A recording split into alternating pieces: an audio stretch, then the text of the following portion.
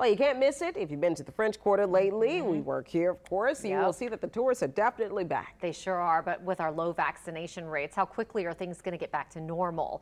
Mike McDaniel has that story tonight. Maneuvering here, let me see what I have available Reservations fill up fast these days at Flambeaux Bicycle Tours in the French Quarter. They're coming out in droves right now. Much different than late last year when owner Eric Gabourel wasn't sure the bike tires would spin again. Last October, we were in panic mode, wondering if we were going to survive. Now he's turning people away. I'm completely booked out on Thursday. I would say the vaccine has played a really big role, man, because it's helped people feel comfortable uh, uh about being around other people. As folks get more comfortable, state and medical leaders aren't so comfortable with the state's overall vaccination rate. According to the state health department, about 30% of the state's population is fully vaccinated.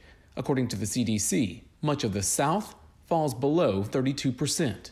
To get back to normal, quote unquote, that's what we really need. Dr. Susan Hassig with Tulane University says low vaccination rates can not only scare off potential visitors, but also create centralized spread of COVID the reality I think people in Louisiana have to recognize is if the rest of the country gets to 65, 70% vaccinated and this region along the Gulf Coast doesn't, all of the virus experience is going to be happening here.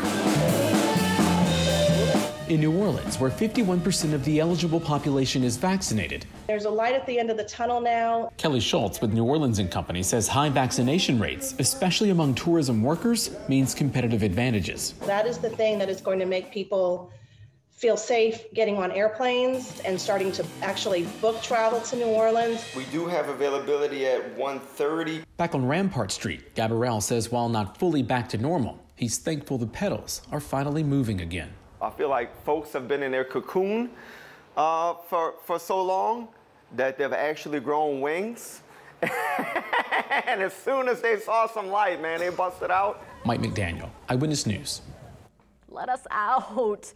Tourism leaders say certain areas of the industry are still missing, like international travelers, cruise ship passengers, midweek hotel guests, and even conventions.